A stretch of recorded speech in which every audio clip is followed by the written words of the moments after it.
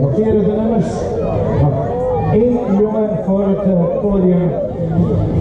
Ja. Daar hebben we 270 voor een meisje van 272. Is de derde jongen voor het podium. Krijgen ze dadelijk de namen van.